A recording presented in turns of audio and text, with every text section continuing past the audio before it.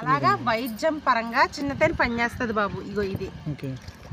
పెద్ద తేనె ఏంటంటే పూజలకి హోమాలకి అభిషేకాలకి పంచామృతాల్లోకి పెద్ద తేనె వాడతారు. చిన్నదైనా తీసుకోవాలి. తీసుకుంటే చిన్న